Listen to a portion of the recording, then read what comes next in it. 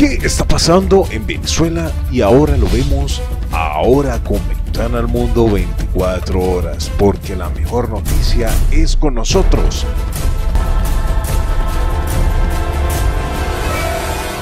Ahora damos inicio. Bueno, y este es un mensaje para mi amigo y único presidente de Venezuela actualmente y por el momento, Juan Guaidó. Señor Juan Guaidó, ¿qué pasa? Tengo varios mensajes y bastante información que nos han enviado. Tenemos bastantes eh, informantes que nos han hecho llegar información, eh, los que nos han escrito a través de nuestro canal, que qué está pasando con Juan Guaidó, que porque está tomando esa decisión de unas elecciones paralelas. Muy bien, yo lo primero que les voy a decir y doy inicio con la noticia de esta manera, es que hay que indagar más sobre este asunto. Por lo que hemos leído, por lo que hemos escuchado y por lo que nos ha dado a entender señor Juan Guaidó, al parecer va por ese lado.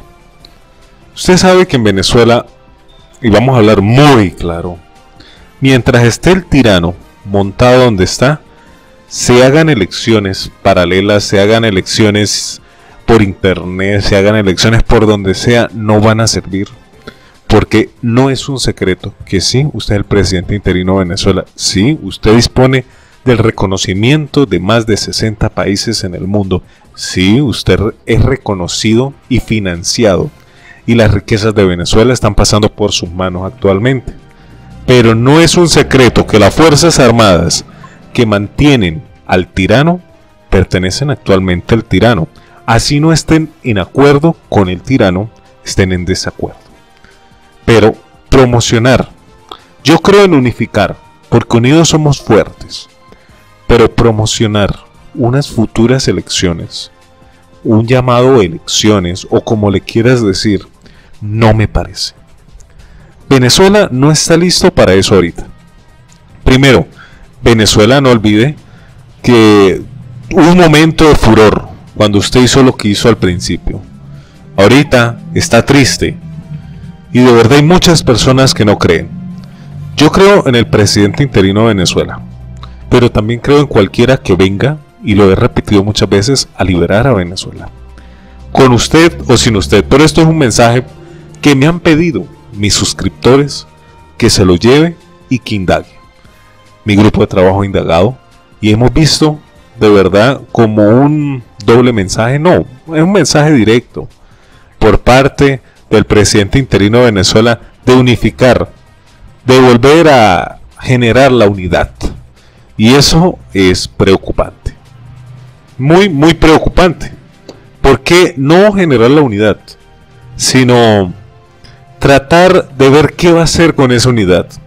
Nosotros creemos en cese de usurpación, en liberación, en no más chavismo ni comunismo, ni madurismo, ni más títeres de Cuba, Rusia y China. Ya vemos que estos delincuentes no saben qué hacer ni qué inventar. Venezuela debe tomar acciones.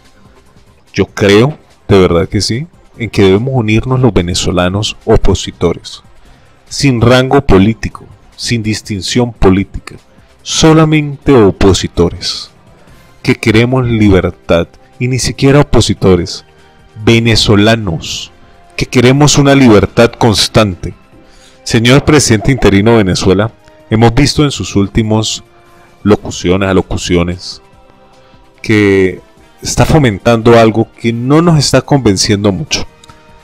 No creo y pido, le pido el favor a usted, que sé que si me escucha y le llegue este mensaje, pueda, de verdad que sí pueda hacer algo con respecto a esto. Venezuela está pasando por una de sus etapas más cumbres históricas en el mundo.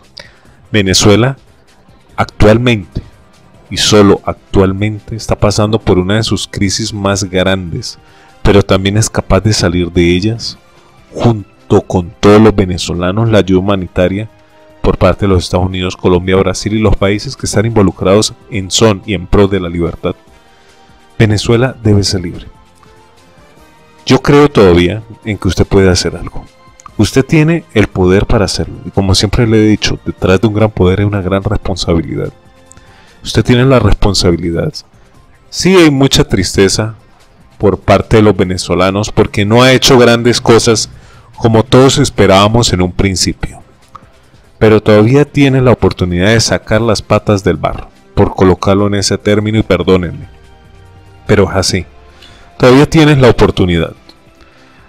Ustedes que me escribieron, mi grupo, mi familia, mis amigos, mis hermanos venezolanos, y me han escrito de otros países que no son venezolanos, que qué pensaba de esto. Y este es mi pensamiento. Y esto es una reflexión y un llamado al presidente interino de Venezuela. Que haga bien las cosas, porque las puede hacer. Hágalas en orden, porque sabemos que el orden lleva las cosas correctamente. Espero, señor presidente interino de Venezuela, Juan Guaidó, que escuche mi mensaje y por favor les invito a que lo compartan, lo multipliquen, lo extiendan, porque no se debe quedar solo en un mensaje ni te quedes con él. Compártelo.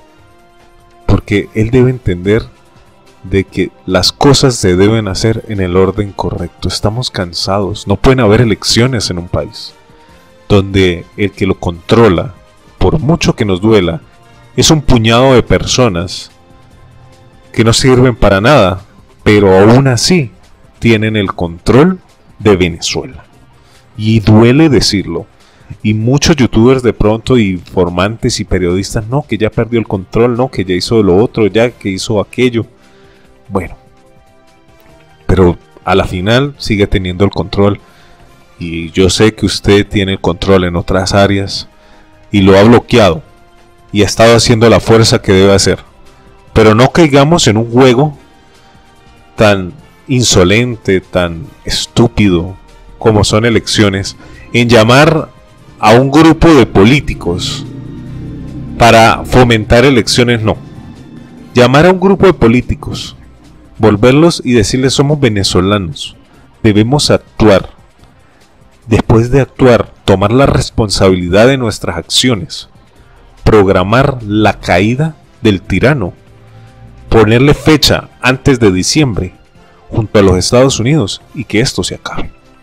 Y Venezuela vuelva a brillar Mentira, Venezuela sigue brillando, pero tiene una nube oscura, roja, chavista, madurista, comunista, madurista que solo destruye y es un cáncer, que no, no debemos seguir permitiendo que lo siga haciendo. Comparte, multiplica, extiende y hasta una próxima.